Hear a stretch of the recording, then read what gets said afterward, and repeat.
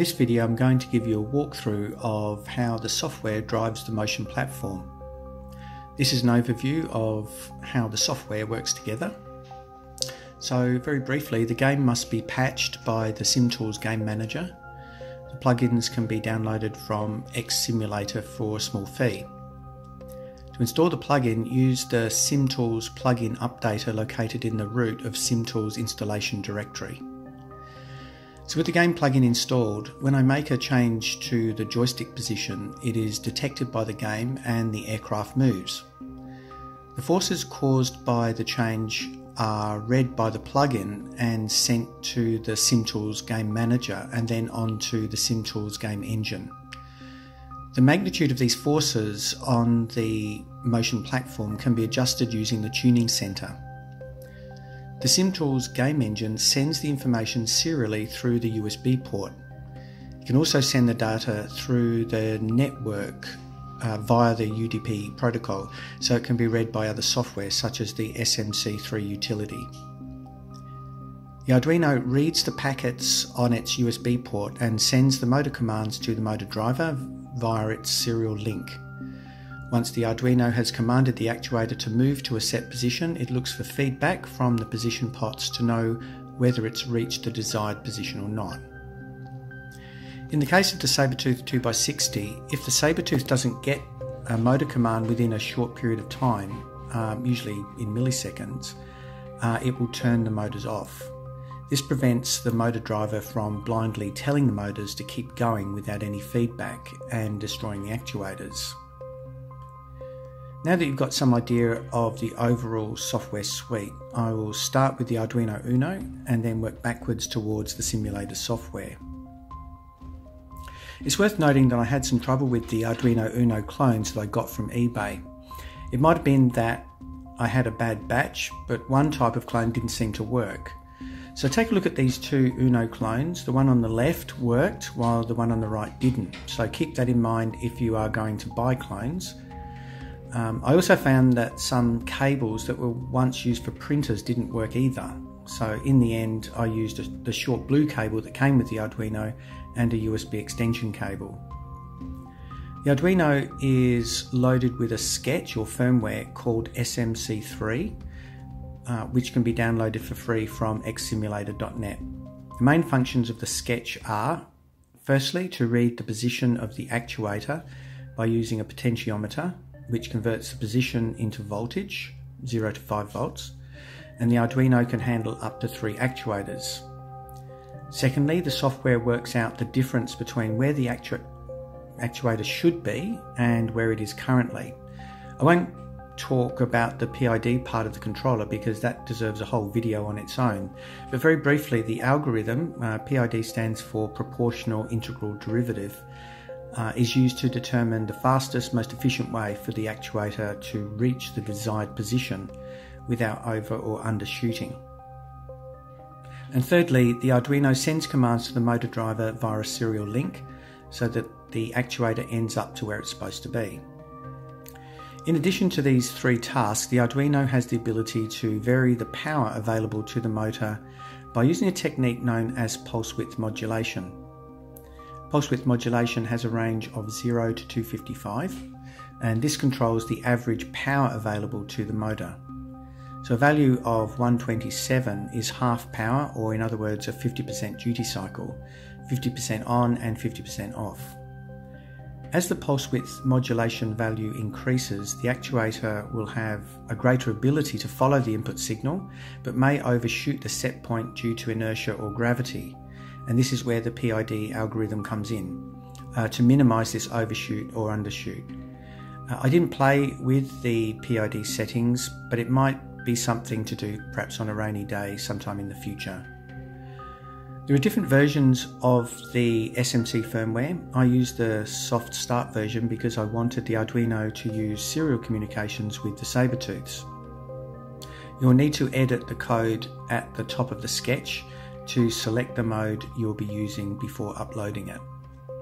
So after uploading the sketch, you'll also need to download the SMC3 utility, also free from xsimulator.net.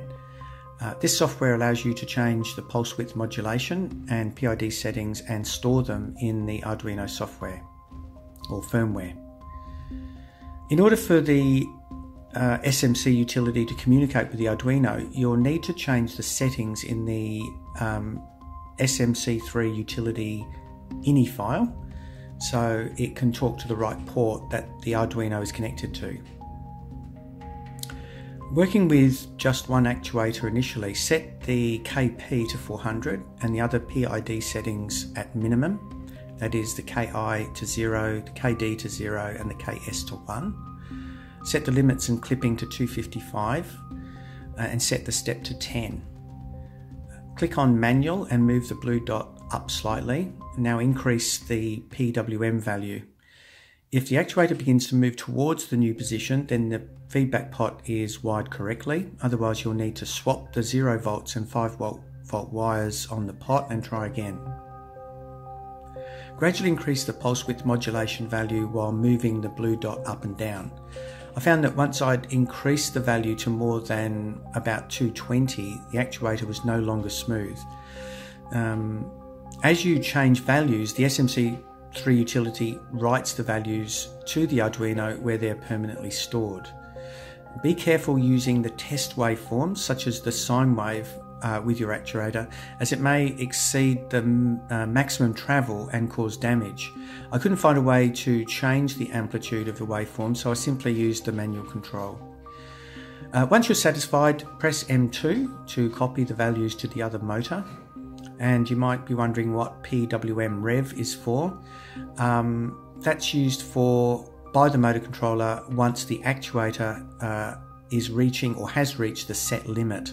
Helps you to electrically put a brake on the motor by reversing it. Now this is just a, uh, an introduction really to what the SMC utility can do. It really needs a video all of its own, but uh, just, just to explain how it works and all the functions. As I said in the previous video, you need to power up the Sabertooth first, then the Arduino, so that the Arduino can send the proper initialization, initialization commands to the Sabertooth. You'll now need to download SimTools. Uh, a registration key can be purchased from XSimulator, uh, or if you're building a project and it qualifies, you can request a free key. You'll also need the game plugin you want to use the platform for, which in my case was for X-Plane.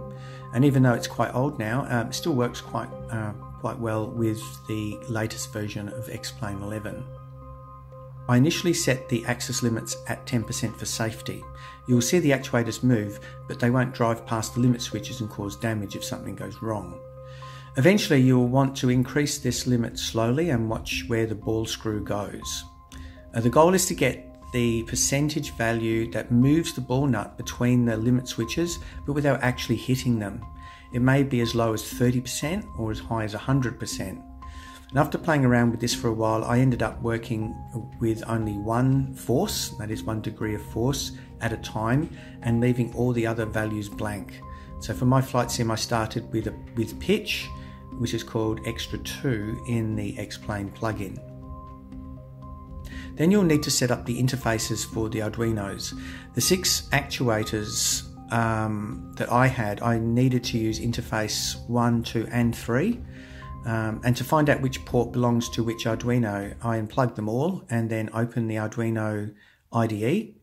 Uh, I plugged in the Arduino to see which port it uses and then I updated the SMC3 utility and I updated the um, interface that you can see here. In this image, two motors are expected by the Arduino, which you can see. Uh, if you have two actuators connected to the Arduino, you'll only need to have two set up in this field. Uh, in the image, I have the output rate set at 10 milliseconds, but I later changed this to 1 millisecond. I created presets for each of the interfaces, so it would be easy to reload them. When SimTools starts, it loads these presets by default.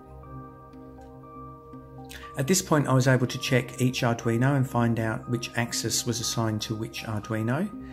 And uh, I worked out which actuator corresponded with each axis using just the heave force.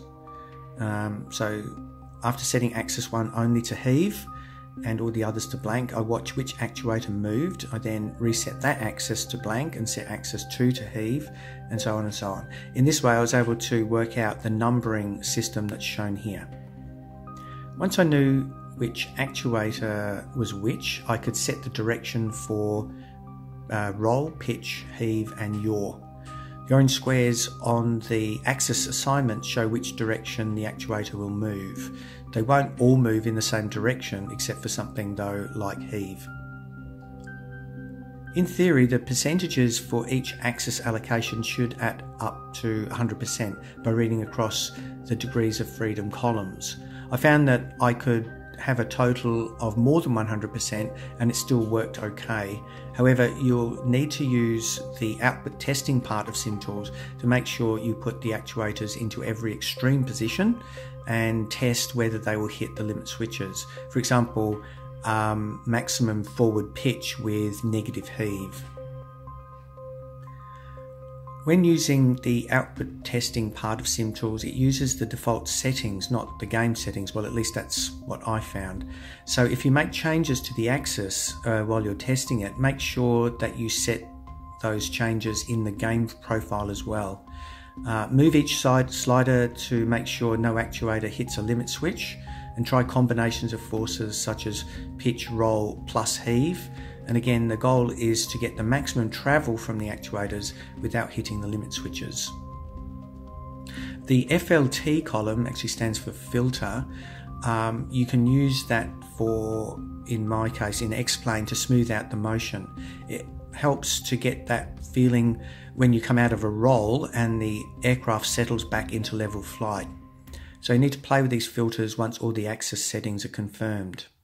Now, there's probably millions of combinations of all these settings, so focus only on one degree of force at a time. And as with the SMC utilities, this is just really an introduction to SimTools. It really needs a video all on its own to explain how it works and all the functions. To get SimTools talking with X-Plane, start X-Plane and click on Settings, Data Output. Now that you have the screen with all the checkboxes, check the following items in the last column called network via UDP. So you'll need to check uh, the boxes that start with number three, which is speeds, number four, which is Mach vertical velocity indicator and G load, number 16, angular velocities, number 17, pitch, roll, and headings, number 38, engine RPM, and number sorry, number 37, engine RPM, and number 38, propeller RPM. Check the box Send Network Data Output and enter IP address 127.0.0.1 and port 4123. Set the UDP rate to maximum, which is 99.9 packets a second. Click Done. And finally, once all this is done, the software is set up and ready for testing and tweaking. I have the SimTools Game Manager and SimTools Game Engine software start when the PC boots up, and the Game Manager function monitors which games are running and loads the associated profile. It's worth to, uh, keeping the main level at a very low percentage until you're confident you're not going to damage anything. The main slider acts like a master volume control However, if you set it at zero, it doesn't cut out all movement, like a volume control uh, cuts out all the sound. It's more subtle than that. It globally lessens the overall movement of the sim, and it's handy if you want to turn down the responsiveness for, say, a very fast acrobatic aircraft. When I put it down to 0%, I was expecting it to behave like the overall volume control and reduce all movement to practically nothing. Well, it did tone things down a bit, uh, but it was more subtle than you might expect. Anyway, once things are working, you can start playing with the tuning center, uh, which is like a music graphic equalizer, if you like, uh, where you can change the levels of motion coming from the simulator and how they're sent to the platform. It's worth spending some time with the tuning center as it can uh, change the behavior of a platform from simply moving one about to one that really makes you feel like you are there. Well, I hope you found that useful as an overview for the software needed to drive the motion platform. I'll follow it with some more videos on how to set up the SMC3 software uh, and the software utility and also SimTools.